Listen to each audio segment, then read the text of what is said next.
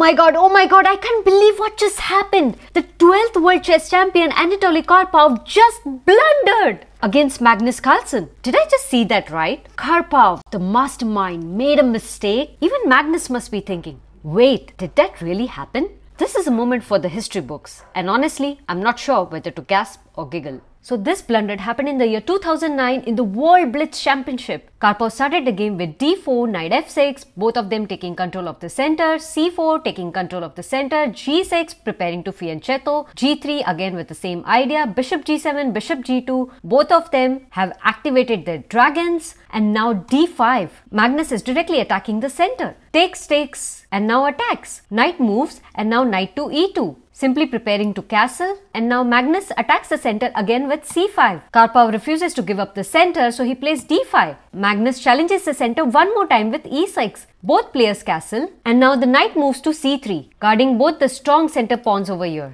Since this knight cannot be developed over here, so Magnus develops it on the side of the board. And now Karpov plays a4. But that move just created two holes in white's territory and those holes being the b3 square and the b4 square. Since the holes have been created, Magnus immediately takes advantage of that and moves his not so good knight on the A file to the newly formed hole in white's territory. Now it's controlling a lot of good squares in white's territory. Karpov continues the development with bishop to e3, also attacking the pawn over here. And Magnus here protects and counter attacks Karpov. Bishop takes bishop, pawn takes bishop, and now Karpov cannot make the mistake of capturing this free pawn, otherwise he's losing to a fork attack. Therefore, Karpov here played knight to b5, double attacking the pawn over here. And now Magnus protects the pawn with e5. Magnus is like, I really love this pawn in your territory and I don't want to give it up, so I'm gonna do everything in my power to protect this pawn. a5 by Karpov, attacking the knight. And since this knight doesn't have any good squares to go, it cannot come over here.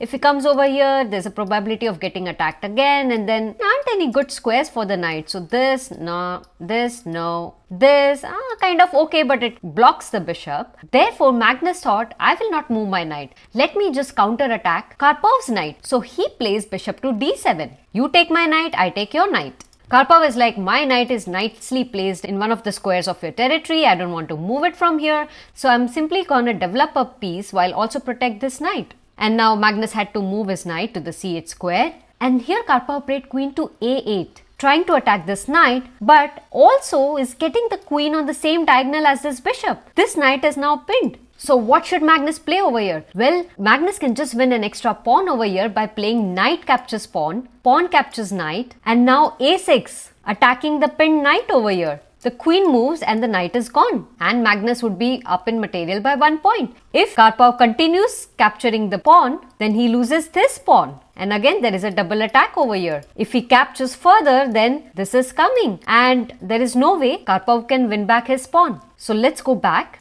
Therefore, knight takes pawn was such a great idea to grab a free pawn on the board. But since both the players were playing in a blitz format, Magnus completely missed this golden opportunity and ended up playing knight to a6. Since the knight was under attack, he simply moved over here. But well, that was a loss of opportunity. Karpov activated his rook on the open file. Magnus played knight to d6, putting more pressure on the pinned piece over here. And now queen to b3, just unpinning the knight. Knight takes knight, knight takes knight. And now b6, attacking the pawn. And now Karpov played knight to d6, getting deeper into black's territory and controlling many important squares. Magnus played knight to c5, attacking white's queen. Queen moved to a3, and now queen to f6, attacking the knight over here as well as putting some pressure on the f2 pawn. Knight moved to c4 and now bishop to b5, attacking the knight one more time. And here Karpov played b4. He's like, you're attacking my piece, I'm gonna attack your piece. Knight moved to b7 and now pawn takes pawn, pawn takes pawn. The queen is under attack and Karpov here goes for a very bold decision. He decides to give up his queen for the two rooks over here. And this is kind of a good idea to do because you're giving up 9 points of material and getting 10 points of material in return, right? Also, two strong rooks will be off the board. So he goes for queen takes rook, rook takes queen, rook takes rook. Since it's a check, king move to g7.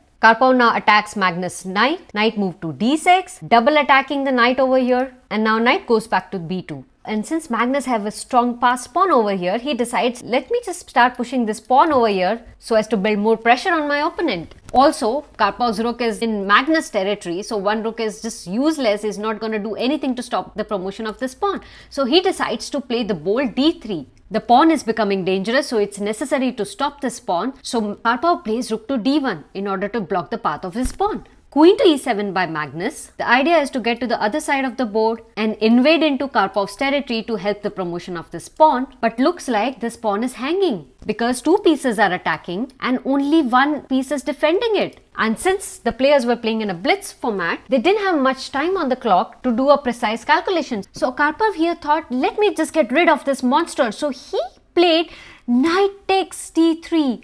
But guess what? No doubt he killed the monster, but he landed up in a completely losing position. How? Well, Magnus now played queen to c7, getting to the other side of the board, attacking the rook while also preparing to enter white's territory over here. The rook moved to the corner and now queen to c2. It's a fork attack. Also note, white's knight is under double attack. How can Karpov save this position? He will now lose tremendous amount of material and with this active set of pieces on the board and the rooks totally discoordinated and the bishops stuck behind its own pawn chain, this is gonna be a very smooth and easy win for Magnus Carlsen.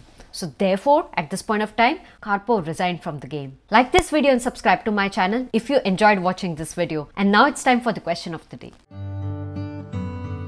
So black here is up in material by a whooping 8 points. Also, he's threatening to get a queen on the board right in the next move. And a third queen is coming in another 2 moves. How can white save his game? Can you find the winning moves for white over here? Let me know your answers in the comments box and I'll see you in the next video.